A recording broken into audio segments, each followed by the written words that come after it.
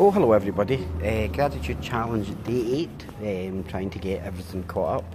Um, today is uh, what book I'm most grateful for. Um, not the biggest read in the world, I have to say.